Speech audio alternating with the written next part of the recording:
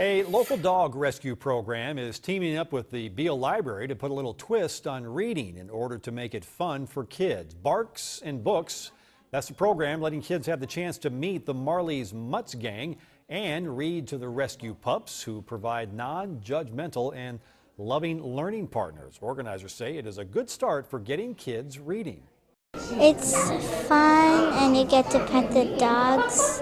And for the kids, yeah, it helps them. I mean, they're very standoffish. Some of them are very culturally not used to having dogs around. Um, but it also teaches them a level of compassion that they can get comfortable with dogs and, and uh, to watch that, that light switch off in their, in their head when they do make a connection with a dog, they get so happy.